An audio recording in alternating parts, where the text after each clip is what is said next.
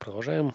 А, значит, остановились на а, некоторой логике, да, которая задается в качестве исходных данных для вашей, для вашей модели, то есть некоторое а, описание вашего мира с помощью набора правил логических и вероятностных. Да. Соответственно, может быть визуализировано как некоторая таблица, где у вас зашита логика, описывающая логику вашего мира, и заданы некоторые вероятности априорные э, тех или иных комбинаций вот этих объектов, этой логики, да, которые описывают ваш мир. Вот, и задача состоит в том, чтобы посчитать, ну, как бы рассчитать э, недостающие части, да, ну, в частности, вероятности, которые лежат вот, э, в комбинациях, ну, то есть те, которые лежат у вас, например, вот здесь. Вот, решается с помощью задачи обычного линейного программирования, вот, но к нему, например, можно добавлять еще дополнительные условия, например, э, вероятность того, что что-то лежит в пределах некоторого, некоторого окна. А, значит, для того, чтобы превратить вот такое описание в некоторую уже цепочку событий, как вот здесь написано, да, что 3, оно основывается на 1, на 2. Вот. Вводятся еще дополнительные условия, уже байсовская логика вводится, то есть преобразование по сути, появляется дополнительное ограничивающее условие, которое тоже нужно учитывать э, в некотором алгоритме оптимизационном. Значит, соответственно, условие такое, что x2, э, ну, то есть главное условие, да, что x1 x2 у вас независимы. Это вот отличие э, предыдущего решения да, с обычным линейным программированием от того условия, которое налагается методом байеса, где есть некоторые следования, да, есть причины и следствия причинно-следственная связь. Вот в этом случае она э, дополнительно к линейным ограничениям вводит новое ограничение, которое состоит в том, что появляется условная вероятность, да, что x2 при наличии x1, x2 при наличии э, x1 отрицания, да, то есть э, отрицание, да, оно в, в обоих случаях вероятность одинакова. То есть что x2 никак не зависит от x1. Вот такое ограничение э, на самом деле означает наличие некоторой некоторой такой нелинейной зависимости, что по сути приводит к тому, что у вас просто появляются дополнительные условия, да, которые нужно минимизировать, максимизировать. И это автоматически делает вашу задачу оптимизации нелинейной. Если в линейной системе, в линейной задаче оптимизации у вас все более-менее понятно, как ее решать, да, то в нелинейной задаче э, возникают уже проблемы, как это сделать. Ну, здесь, в частности, предлагается, например, э, разбить задачу на две части – то есть всю нелинейную часть, связанную именно с э, вот этим причинно-следственными связями, вынести в одну систему, да, а всю линейную часть в другую. Вот, и, соответственно, на примере, на вот этом примере показано, что большая часть э, размерности в задаче – это все-таки э, система линейная, да, которая достаточно легко решается существующими методами, а те, которые нелинейные, их как бы неограниченного объема, их можно попробовать решить, например, численно. Вот, э, соответственно, такой некоторый э, скетч того, как может быть устроен логический вывод, да, то есть это задача некоторая оптимизационная. Причем за счет наличия вот таких причинно-следственных связей э, эта задача становится нетривиальной, потому что появляются некоторые нелинейные ограничения, которые не могут быть легко решены существующими численными методами, какой-то разумный срок с некоторым горань. Да? То есть в линейных системах вы можете одношаговым алгоритмом найти точку, да, некоторую оптимальную аналитически, то при наличии таких нелинейных связей вам приходится применять численные методы, то есть задавать некоторое начальное состояние, начальную точку поиска, задавать распределение вероятностей и дальше итеративным путем пытаться найти э, некоторые подходящие решения. Значит, все это на самом деле становится очень грустным, даже вот в таких простых случаях, да, когда у вас 2-3 события. Вот, когда событий становится намного больше, а, у вас резко начинает расти размерность, то есть задачи такого вывода вероятностного, они, ну, так называемые MP-сложность, то есть полиномиальная сложность, в зависимости от числа узлов. То есть как только вы начнете увеличивать количество узлов, у вас сложность просчета вероятностей начинает расти по полиномиальной зависимости, то есть в простейшем случае, в лучшем случае это будет квадратичная зависимость. То есть на тысячу узлов вам придется сделать там 1 миллион э, вычислений, условно говоря, да, и так далее. Ну, в реальности, конечно, вычислений будет намного больше, но, условно говоря, размерность системы, да, увеличивая размер системы там линейно, у вас будет квадратично расти сложность вычислительная. И это, наверное, основная причина, почему э, вот эти вероятностные подходы, вероятностное программирование, все, что касается этого вот вероятностного подхода, оно до сих пор еще пока в таком э, зачаточном состоянии, потому что, ну, не в зачаточном состоянии, да, но уже в, таком достаточно еще раннем состоянии. То есть все остальное, там, экспертные системы, там, нейронные сети, эволюционисты, э, метод аналогии, он как бы цветет и пахнет там, последние 20 лет, 30 лет.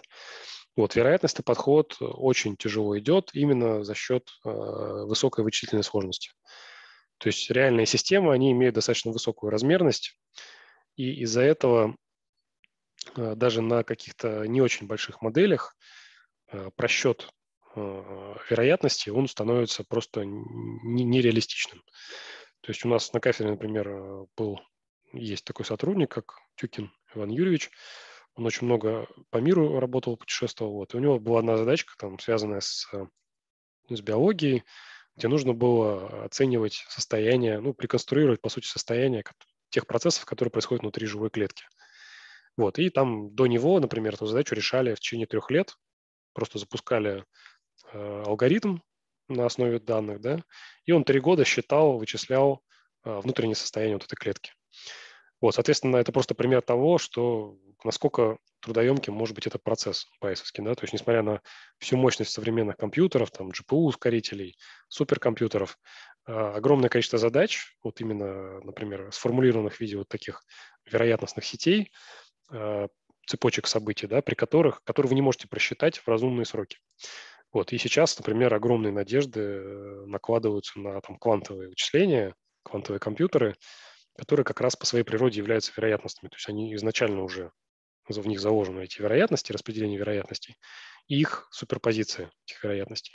И как раз квантовые компьютеры позволяют э, очень быстро решать подобные задачки, реконструирование чего-либо, да, то есть описание, например, модели вашего мира там, с помощью некоторой сети вероятностной, да, и настройка вот этого квантового компьютера, его элементарных кубитов на там отдельные события, там отдельные... Э, то есть используем вот, этого, вот эту суперпозицию да, для того, чтобы э, вычислять э, итоговую вероятность.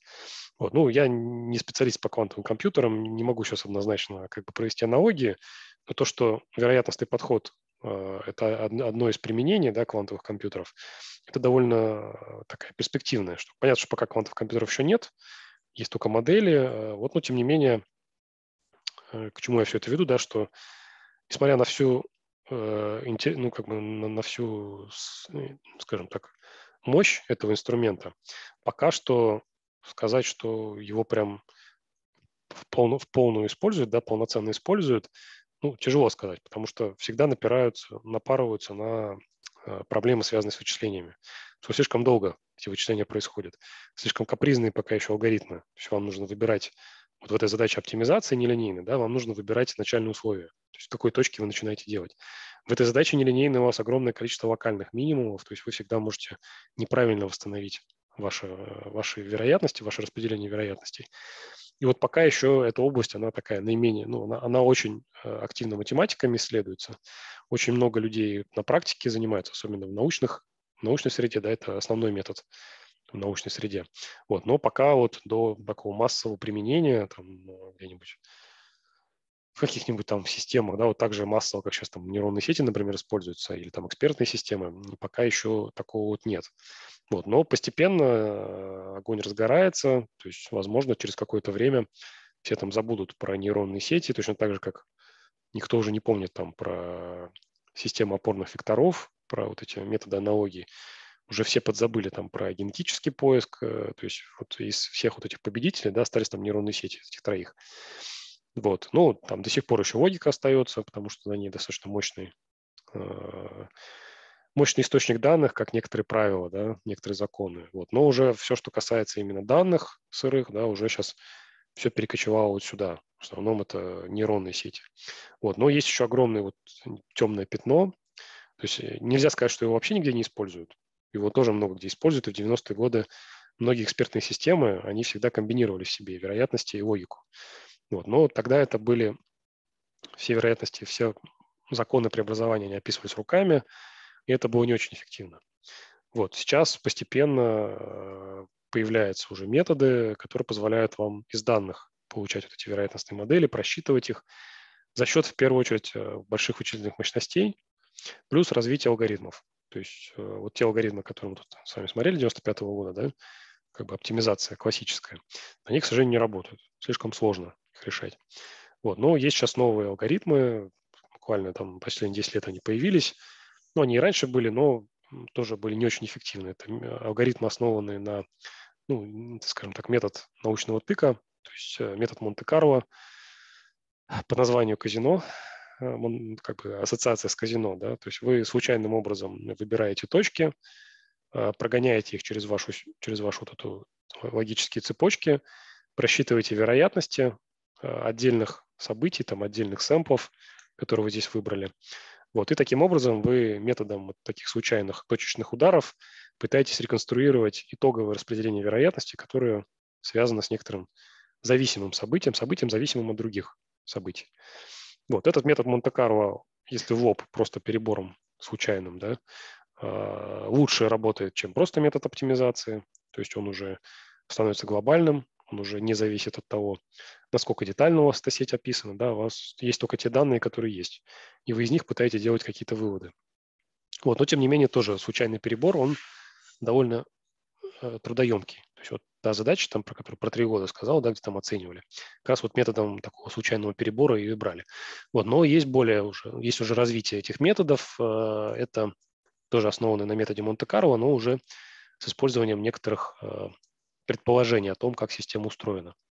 Ну, не система устроена, а как устроена вот эта задача оптимизации, да, то есть э, там, квадратичная, кубическая там, и так далее. То есть описание некоторой функции. И вот, соответственно, в соответствии с этой функцией тоже случайная, случайный перебор, да, но уже такой немного умный перебор. То есть вы пытаетесь уже прислушиваться к тому, что у вас происходит в системе, да, то есть сначала прогоняете просто случайные сэмплы, потом постепенно вы накапливаете информацию и начинаете уже более целенаправленно сэмплировать, то есть какие-то э, резкие места вы пытаетесь чуть лучше прощупать. Да? То есть, по сути, аналогия такая, что вы, по сути, прозваниваете эту сеть и вычисляете вероятности, пытаетесь реконструировать эту поверхность, гиперповерхность вероятностную. Соответственно, есть более умные, чем просто случайный перебор, да, просто тыкать в произвольные места. Можно тыкать с умом, то есть смотреть, что вы получили, да, на основе этого пытаться какие-то места чуть больше подсветить, какие-то чуть меньше. В общем, да, алгоритмы есть, и это довольно хитрая наука. Там можно закопаться в эти алгоритмы, как они устроены, но, тем не менее, все это развивается, а, поэтому есть надежда, что вот это направление, оно тоже скоро станет актуальным. Все там забудут про нейронные сети, наиграются с ними. Там, где их можно применить, они их будут применять, да, а для всего остального начнут переключаться на что-то другое. Ну, наверное, сюда будет переключаться, потому что здесь а, помимо вот просто решения задачи, да, здесь еще есть некоторые объяснения. Плюс можно закладывать а, различные условия, логику, да, то есть, по сути, вы можете, ну, скажем так, описывать некоторую высокоуровневый алгоритм решения задачи для вашей интеллектуальной системы. Здесь вы просто прогоняете данные, получаете некоторую модель, и э, насколько эта модель хороша, зависит от того, какие у вас данные. Если у вас, не дай бог, ваш пример или ваша задача вышла за пределы тех данных, в которых она была, то, скорее всего, вы получите полную ерунду. Там есть такой мем, как э, сошедшая с ума нейронная сеть, которую какую-то чушь начинает выдавать. Вот это все вот про вот этот коннективизм, да, когда непонятно, чего вы в итоге получили. Вроде она правильная, то есть она, по сути, подражает тому, что вы ей скормили. Вот здесь уже идет не, не, не подражание, а здесь уже идет скорее реконструкция. То есть вы описываете модель э, вашего мира, отмечаете, что вы знаете, что вы не знаете, и с помощью алгоритмов э, вы пытаетесь реконструировать информацию о том, чего вы не знаете. То есть это гораздо более глубокий метод, э, более сложный, за ним стоит более сложная математика, чем за нейронными сетями. Вот, ну и на самом деле я думаю, что за ними будущее. Вот, но пока еще оно не наступило, то есть пока довольно такие тяжело. Пока это еще не вышло за пределы научных исследований. Есть отдельные простые системы, там система фильтрации спама, например, но пока еще не, не дошло до того уровня, например, на котором сейчас там нейронные сети крутятся, когда они там э, перемалывают какие-то видеопотоки в реальном времени, что-то там выделяют. Э, вот пока еще до такого масштаба пока еще не дошло. То есть на масс-маркет пока еще это не вышло. Все-таки это пока еще такие штучные проекты, штучные продукты. Вот нейронные сети уже стали таким массовым продуктом сейчас. Вот, но опять же повторюсь, что это сейчас все развивается, и, возможно, мы еще в ближайшее время услышим про метод Байеса. Вот, ну, если так теперь э, вернуться к моделям, да, то есть есть в интернете в свободном доступе э, такие публичные модели этих байесовских сетей, вероятностных сетей. А, тут есть как э, простые сети, которые там используются в всяких учебных, в учебниках всяких описываются, да, например, там сеть образования ракового заболевания, да, то есть и выбор того, каким методом диагностировать, да, то есть как, как он был найден. Соответственно, есть там загрязнение, есть курильщики, да, то есть, соответственно, заболевание раком связано с первым, со вторым. У каждого из них есть какая-то априорная вероятность, сколько человек курит, сколько нет, а, и, а, соответственно, вероятность некоторой зависимости от загрязнения, да, то есть живет человек в загрязненном районе или нет. Вот, есть вероятность появления рака, в зависимости от обоих этих условий, или их комбинации. Вот. И есть э, вероятность того, что этот рак будет обнаружен либо с помощью рентгена, либо с помощью специальных анализов. Да? Это вот такая учебная сеть, которая описывает, ну, простейшая да, учебная сеть, э, где в каждом узле задаются некоторые наборы вероятностей. Вот тут есть и там другие примеры, например, там, э, что это, там сработала тревога, да, там позвонила Мэри, потому что там сработала тревога, потому что произошло землетрясение, например, да, либо потому что просто захотелось ей и так далее. Вот есть более сложные примеры, да, например, э, мы сейчас посмотрим отдельную статью про вот эту сеть, как она была получена. Тоже как раз применялся метод Байеса, э, метод поиска э, структуры в данных. Вот тоже некоторые, ну, на самом деле здесь речь идет о работе иммунной системы, то есть активация отдельных механизмов иммунной системы в зависимости от раздражителя.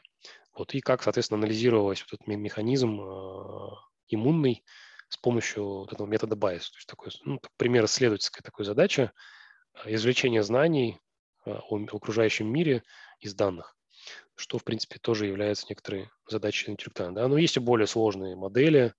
Тут самые страшные включающая в себя, там, не знаю, тысячи узлов, связи между ними. Как бы их даже тяжело, тяжело даже визуализировать их. То есть, ну, тут, не знаю, получится, не получится, что-то увидеть, да, то есть какие-то уже страшные тут связи, э, в которых ну, там, вот такие всякие модели, то есть тут просто черт ногу сломит. Вот, многие из них были получены э, в результате некоторых исследований, тут везде указаны статьи, очень активно это используется, вот этот метод Байеса в генетических исследованиях, то есть где огромное количество данных, и нужно из них э, построить некоторую структуру, то есть кто от кого зависит. Вот, соответственно, э, есть такой репозиторий. Ну, сами модели, на самом деле, ничего у них особенного нет. Это просто э, описание набора переменных. Это либо какие-то категорийные переменные, да, то есть три значения, например, да, дискрет, либо какие-то непрерывные, и потом описание таблиц с вероятностями. То есть таблица истинности, да, там вот у вас есть два входа, есть один выход. Соответственно, условная вероятность, что на входе у вас low-low, да, на выходе будет там такие-то вероятности и так далее. То есть вероятность low ERC такая, вероятность ERC, э, PKA такая, да. На выходе будет акт вот с такой вероятностью. Это вот к вопросу о, правиле Байеса, да, вот те самые э, результат эксперимента, да, как он влияет на ваше понимание системы. И вот таких тут э, экспериментов, тут огромное количество, да, он описывается с помощью таких вот табличек. И это, по сути, база знаний о вашей системе, о вашем мире, что происходит в этом мире. И задача стоит в том, чтобы, например, э, ну, либо просто реконструировать такую сеть, вот как мы сейчас посмотрим в одной из статей, либо, например, чтобы, э, ну, реконструировать в том плане, что у вас просто есть данные, есть события, нужно понять, как они друг другом взаимосвязаны, кто на кого влияет, кто от кого зависит. То есть вычислить вот эти вот таблички, да, то есть это, по сути, тоже некоторые знания о системе. Вот, может быть, другая задача. Например, у вас э, много, вот эта сеть уже известна, но, например, в ней неизвестны какие-то отдельные компоненты. И ваша задача по текущим данным э, реконструировать, то есть оценить, а чему, какие вероятности вот этих каких-то отдельных узлов в этой сети. То есть вот эти модели, они достаточно универсальны и могут быть использованы в разных ситуациях. А, ну вот чисто пример, да, как одна из таких моделей была получена. То есть это а, некоторый тоже эксперимент. Вот у них журнал на самом деле Science, то есть один из ведущих мировых журналов научных. А, год не так не такой давний, всего лишь 2005 год, то есть меньше 20 лет. И, соответственно, в чем смысл там э, вот этого исследования был, да, в том, что у вас есть некоторая популяция клеток, э, клеток, э, связанных с иммунной системой человека. То есть возникает некоторый раздражитель, некоторые они вводят вот в своем эксперименте, вводят некоторый раздражитель на оболочку этих клеток, и запускается механизм реакции, да, который там упорным трудом там за 100 с лишним лет был реконструирован по косвенным данным вручную. Вот, они пытаются провести эксперимент просто в пробирке, там, прогнав несколько раз, э, специально тут используют методы, то есть, грубо говоря, э, вводят некоторые раздражители в клетку и наблюдают за тем, э, как меняется состав внутри клетки, то есть как отдельные гены там активируют, отдельные молекулы появляются, да, то есть определенная химия внутри клетки, как она реагирует на внешние раздражители. Вот, дальше они э, используют специальный метод, тут его где-то подробно описываю, да, в чем он все состоит. Э, вот они, фото, фос, то есть специальный метод измерения, который позволяет вам вот в этом маленьком, вот этой маленькой э, ячейке да, определить состав тех или иных молекул внутри клетки массово.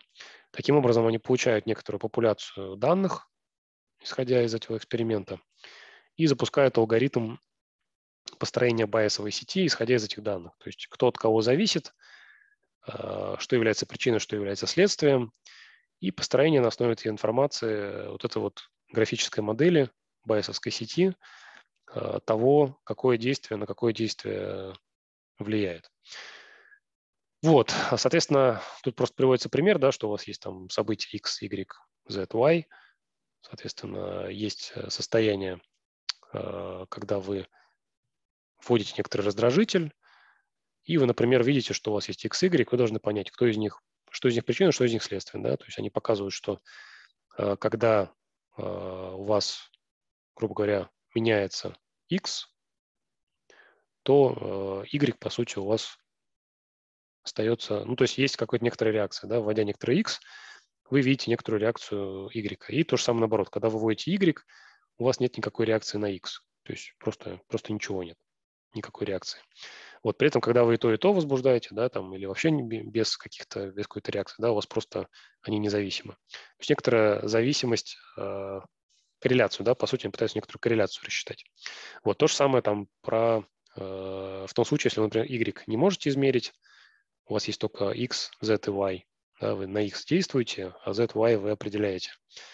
Вернее, измеряете тоже. Соответственно, тоже есть там состояние, а, когда у вас ничего не происходит, да, состояние, когда вы начинаете на x каким-то раздражителем действовать. Тем самым вы видите, что у вас а, есть некоторая зависимость. x, y, z. Да, несмотря на то, что вы z, y напрямую не, не, не определяете, эти вероятностные методы позволяют вам как бы сквозь y смотреть и видеть, что x зависит, влияет на z. Вот это такой своего, своего рода тоже бонус этих методов байесов, что вероятностных методах, что вы можете через э, некоторые невидимые состояния увидеть влияние.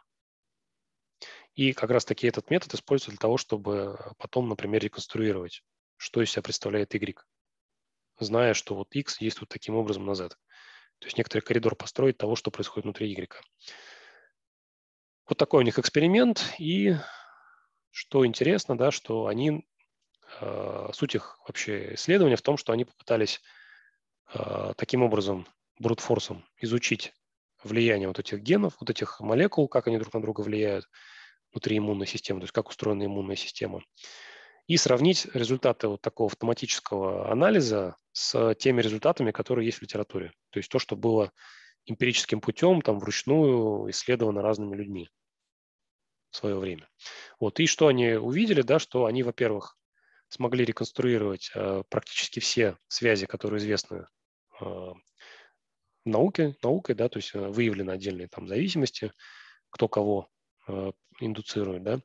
При этом они смогли найти еще несколько примеров э, связей, которые ну, практически неизвестны в науке. То есть это они смогли найти отдельные какие-то статьи, где кто-то когда-то говорил, что действительно, да, есть взаимосвязь между вот этим и вот этим. Но в мировом сообществе пока еще были не, не признаны эти, то есть э, эксперименты пока носили такие точечные характеры. Вот, тем не менее, Э, смогли, э, алгоритм тоже смог такую зависимость восстановить. Вот, кроме того, алгоритм не смог восстановить несколько связей, но это произошло потому, что тот метод, который использовали эти товарищи, он не предполагал наличие некоторых циклических зависимостей. Да? То есть особенность метода Байеса в том, что здесь не может быть циклических зависимостей. То есть у вас не может, например, замыкание быть, да, что из чего-то мы начали, да, и в это же вернулись. Соответственно, вот таким образом они объясняют, что они не смогли обнаружить эти три вещи. Вот. Ну, якобы, если применить немного другой подход, с некоторым э, не только мгновенное да, состояние клеток рассматривать, рассматривать еще эволюцию во времени, то, соответственно, можно еще и вот эти части восстановить. Вот, то есть смысл как раз этой работы в том, что вот э, алгоритм смог реконструировать те знания, которые человек там в течение 70 лет человечества даже не отдельный человек, а человечество, в течение 70 лет там пыталось э, по крупицам собрать. Какие-то эксперименты делали, там ручные обрабатывали все это. Вот, то есть алгоритм смог это там обработать там чуть ли не за, не за полтора, что ли, часа, восстановить всю информацию. Ну, понятно, что в первую, в первую очередь за счет того, что были данные. То есть они вот применили здесь такой инновационный метод, э, когда массово измеряется состав, который находится внутри клетки. Ну, понятно, что это и кусок еще генетических экспериментов, да, когда там внедряются светящиеся гены специальные э, в клетке, чтобы как только появился какой-то агент внутри клетки, чтобы определенным образом подсвечивался он. Есть, ну, флуоресцентно, да, определенные используются генетические некоторые особенности. Вот, то есть это позволяет, вообще говоря, выявлять, собирать огромный массив данных, которых раньше не было, эти данные человек не в состоянии обработать, то есть это сотни мегабайт, гигабайт чисел, человек не может их просто в принципе обработать, да. То есть человек, вот ему потребовалось человечеству 70 лет, чтобы, во-первых, руками эти эксперименты провести, во-вторых, руками данные экспериментов обработать и, соответственно, писать там статьи, пытаться как-то все это структурировать. Машина там буквально за пару часов вывела те результаты научных исследований, которые человек там 70 лет получал. Вот, ну, дальше тут уже начинаются всякие детали именно химические, да, вот чисто, например, пример, да, как они определяли э, наличие связи между двумя элементами. Ну, тут уже, например, вот этих двух генов, да, что они действовали раздражителем на вот этот узел, на ERK, э, и сверяли две популяции. Те, которые, на которых действовали раздражители, те, на которых не действовали раздражители и смотрели вот эти относительные э, корреляции да, вот этого акт и PKA. То есть э, делают некоторый раздражитель, да, вводят некоторый кусочек там вируса, условно говоря, и им их задача понять, э, есть ли связь между PKA и ERK. То есть она здесь нарисована, что она от PKA к ERK идет. И вот предположение, да, проверить эту связь. Если есть только в эту сторону связь, то мы ничего не увидим. Если есть связь в другую сторону, да, то, соответственно, мы увидим, что PK тоже пошевелилось немного. Когда мы здесь потрогали что-то, да, здесь тоже пошевелилось. Вот такая вот простая идея. Да? Соответственно, вот у них есть э, распределение а, без стимулирования, просто вот в покое, как себя ведет клетка. То есть тут э, какая-то концентрация да, чего-то. А, соответственно, и есть э, распределение, а, распределение вероятности. То есть это вероятность того, что вы обнаружите какое-то значение, да, вот этого фосфакт. Наверное, так, да.